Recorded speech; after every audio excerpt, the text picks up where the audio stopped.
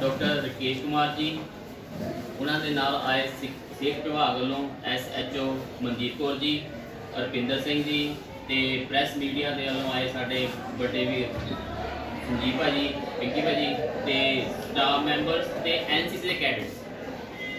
1 ਦਸੰਬਰ 2019 ਤੋਂ ਲੈ ਕੇ 15 ਦਸੰਬਰ 19 2019 ਤੱਕ ਜਿਹੜਾ ਐਨਸੀਸੀ ਵੱਲੋਂ ਸਵੱਛ ਭਾਰਤ ਪੰਦਵਾੜਾ ਬਣਾਇਆ ਜਾ ਰਿਹਾ ਹੈ। ਇਸ ਦੇ ਅਧੀਨ ਅੱਜ ਸਾਡਾ 6 ਤਰੀਕ ਨੂੰ ਜਿਹੜਾ ਗੈਸਟ ਲੈਕਚਰ ਹੈਗਾ ਪਰਸਨਲ ਹਾਈਜੀ ਹਾਈਜੀਨ ਦੇ ਉੱਤੇ ਕੁੜੀਆਂ ਦੇ ਸੰਬੰਧ ਵਿੱਚ।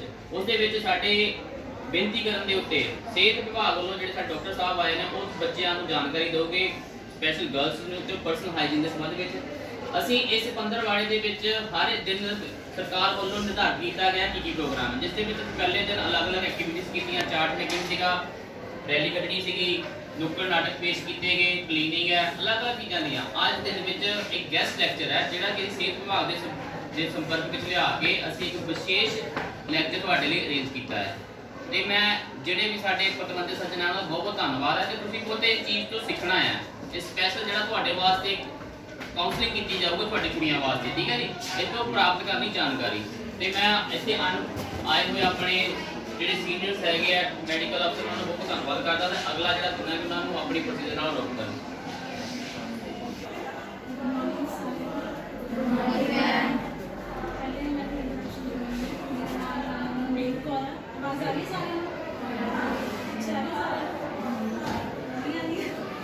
ਮੇਰਾ ਨਾਮ ਮਨਜੀਤ ਕੌਰ ਹੈ ਠੀਕ ਹੈ ਥੋੜੀ ਦੇਰ ਪਹਿਲੇ ਜਿਹੜਾ